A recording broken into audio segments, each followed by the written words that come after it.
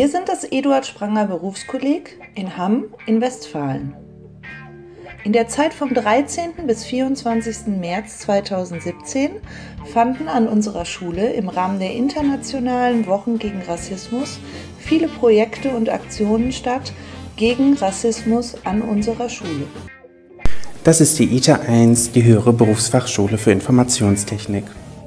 Im Rahmen der Projektwoche hat die Klasse in einer Filmbox Erfahrungsberichte und Statements zum Thema Rassismus mit der Kamera eingefangen.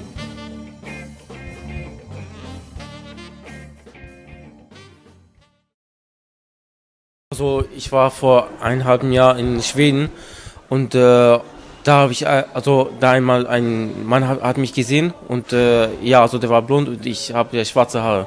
Und deswegen der hat mit mir irgendwie äh, der hat mich beleidigt und der meinte ey du hast eine schwarze Haare was machst du hier? Gehst zu deinem Land und so?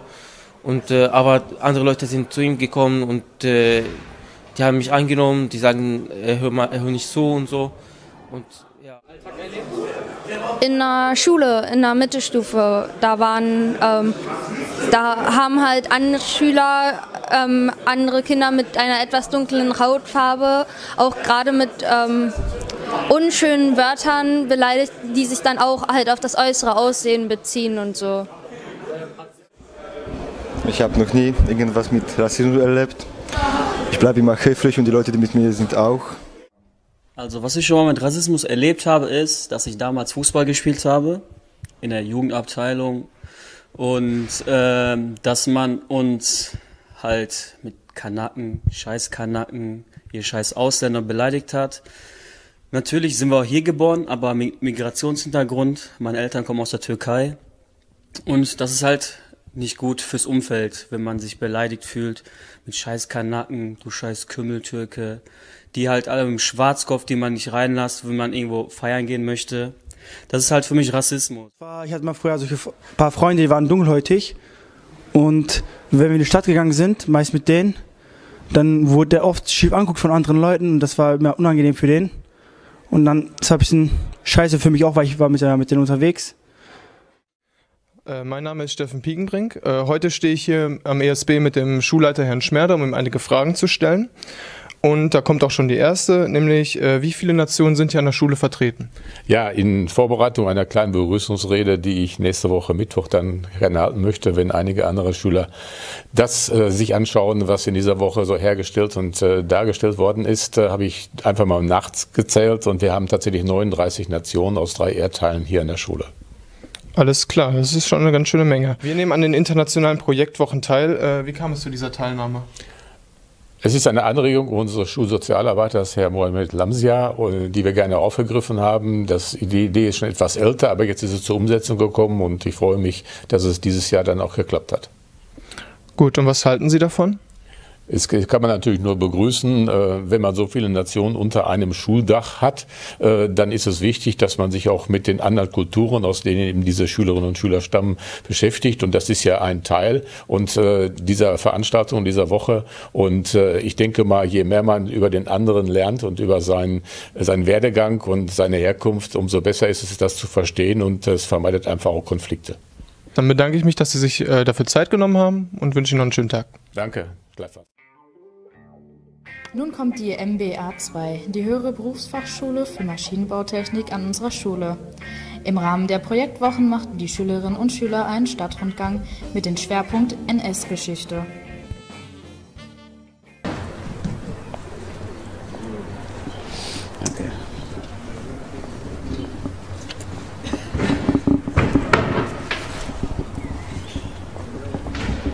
Wir haben jetzt einen Blick auf den ja. Balkon, der sogenannte Führerbalkon, der aber keine Funktion hatte, sondern die Bevölkerung daran erinnern sollte, dass der Führer, egal in welcher Situation, immer bei ihnen ist und über sie wacht.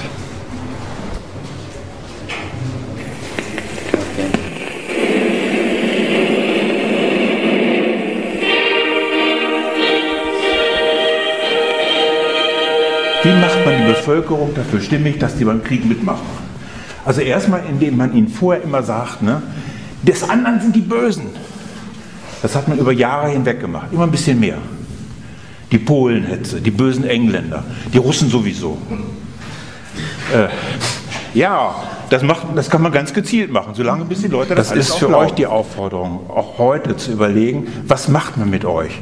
Welche Nachrichten seht ihr? Welche Nachrichten lest ihr?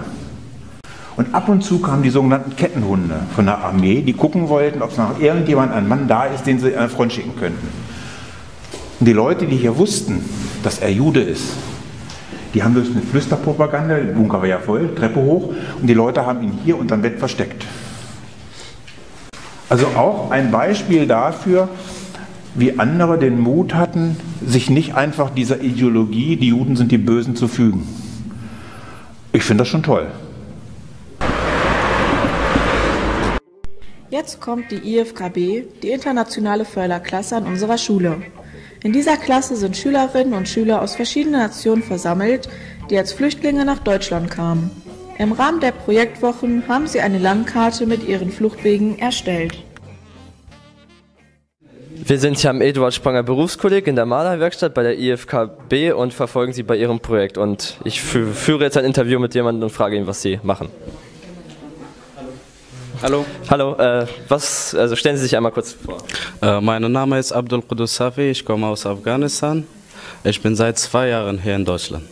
Okay, und was machen Sie heute in Ihrem Projekt? Äh, also unser Lehrer hat uns gesagt, müssen wir zeigen, dass wir, wir sind, wir hier gekommen Nach der Türkei. Hier. Richtig? Ja. Und dann, und dann nach Griechenland. Ja, okay, und wie war Ihr eigener Weg? Äh, Es ist schwer zu sagen, aber ich sage auf jeden Fall. Am 13.05.2015 aus Kabul nach Moskau geflogen. Und danach von Moskau mit dem Auto nach Rostov gefahren. Da war ich einen Tag und dann von Rostov nach Moskau wieder. Da war ich äh, drei oder vier Tage und dann haben wir von Moskau nach Ukraine ge äh, gefahren mit dem Auto. Dann von Ukraine sind wir nach Odessa gefahren. Odessa ist auch eine äh, Stadt aus Ukraine. Sehr schön. Und von Odessa, wir sind mit dem Auto nach Ungarn gefahren und von Ungarn in einen Tag nach Österreich und dann nach Deutschland.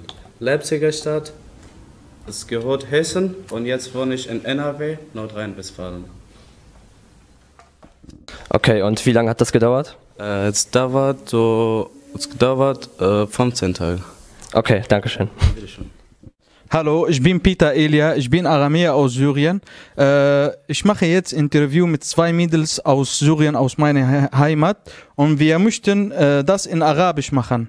Jetzt äh, die erste Frage, warum geht es in Ihrem Projekt؟ هلا السؤال عم يقول ليش هالمشروع اللي عم تسووه؟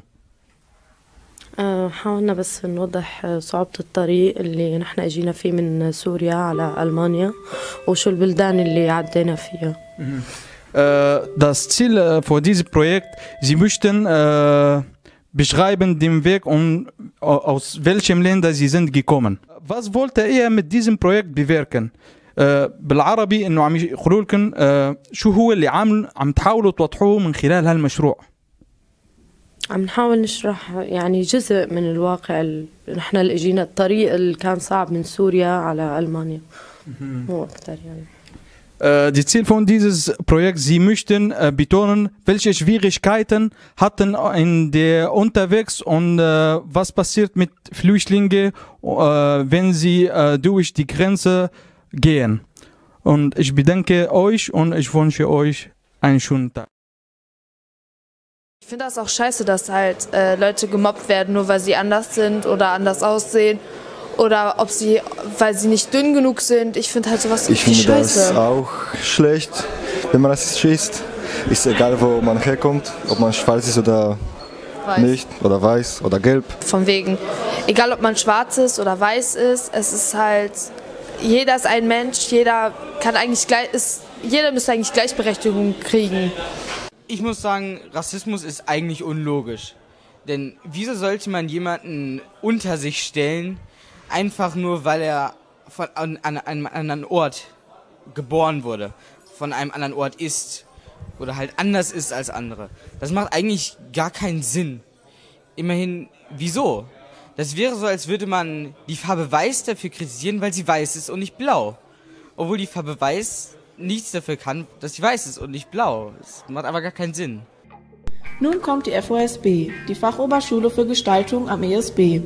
Die Klasse digitalisierte und erstellte im Rahmen der Projektwochen Buttons für das Thema gegen Rassismus. Hallo, wir sind hier in der Klasse der FOSB am Eduard Spranger Berufskolleg. Ähm, die Klasse hat den Schwerpunkt der Gestaltungstechnik und die haben während den internationalen Wochen gegen Rassismus eigene Buttons designt und auch hergestellt. Und hier ist jetzt eine Präsentation, das kann man hier alles sehen und die Schüler werden jetzt selber etwas zu ihren eigenen Buttons erzählen und Mathilda fängt jetzt an. Ja, das hier ist meiner. Ähm, was ich bewusst ausgesucht habe und was auch sehr auffällig ist, ist die Schrift. Ich habe hier einen Übergang zu einer sehr altmodischen Schrift, zu einer ziemlich etwas neueren Schrift. Und ähm, das steht halt dafür, dass keine Rassen, also Rassen ist etwas sehr altmodisches und das ist einfach nicht mehr zeitgemäß. Wir sollten halt aufhören, rassistisch zu denken und rassistisch zu denken und alle Menschen auf der Welt respektieren und akzeptieren. ما یک مدرسه میخوایم بدون نجات پرستی و تبعیض